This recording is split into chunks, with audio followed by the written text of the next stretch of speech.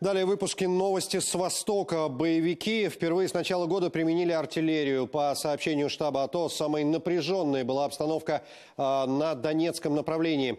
В Приазовье украинские позиции противник обстрелял из гранатометов и 120 миллиметровых минометов. На подступах к Водяному били из артиллерийских систем калибра 122 миллиметра. Однако, несмотря на обострение, праздничные колядки и щедровки не отменить. Вдоль линии фронта действуют несколько групп волонтеров, которые дают возможность нашим солдатам хотя бы на время почувствовать атмосферу дома. На передовой под Попасной в Луганской области рождественские песни слушал и наш корреспондент Геннадий Вивденко.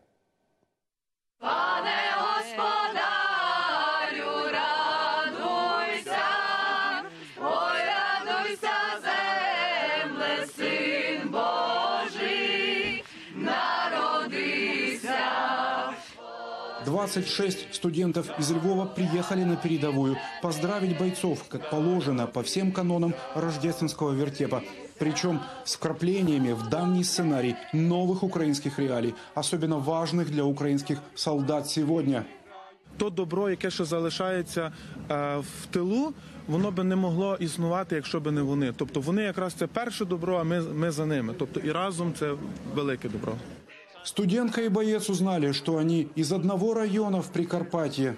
Ми не знаємо один одного, але всі військові, які служать на сході, вони є мені якісь е, рідними і близькими. Для мене всі українці близькі. Ми дуже раді, тому що ну, це додає святковості, і, хоча відчуття якоїсь теплості в душі, радості, те, що ну, за нас пам'ятають завжди. Для студентов из Львова это второй вертеп за день. Уже успели побывать под вражеским огнем. Позади Мариуполь, Марьинка, Авдеевка. Сейчас под фронтовой Попасной. Перед вертепом капеллан говорит о самом наболевшем для воинов. Многие в тылу уже забыли, что на востоке Родины война.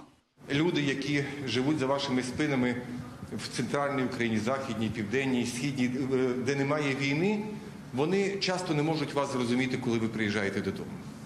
І це для вас дуже добра оцінка, тому що за вашими спинами є мир, вони не сплять в багнюці, вони не чують розривів снарядів, бомб. Христос рождається. По сценарию двое ангелов против трех чертенят. Так выглядит, на взгляд группы «Украинское общество». Силы зла радуются коррупции, низким зарплатам и никудышним соцобеспечением людей.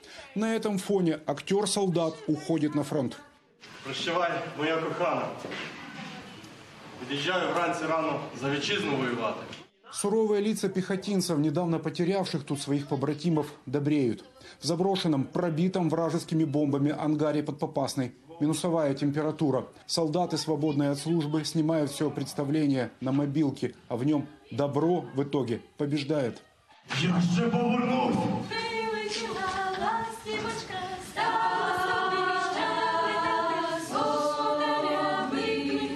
Є часи йти в солдати, щоб за правду воювати. Є часи у рідній хаті мир і спокій будувати.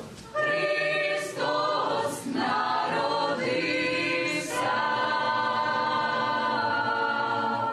Христос рождається. Е, Повірте, ми все захищали і вас будемо захищати. Ваш сон, е, ваше мирне небо над головою і рідну нашу землю під ногами. Дякую. Через несколько минут ребята соберутся и сядут в автобус. Их ждет еще несколько участков уже в северном направлении фронта. Этот вертеп будет длиться еще до 15 января. Геннадий Вивденко, Евгений Пахальчук, Игорь Щепет. Подробности телеканал Интер из Луганской области.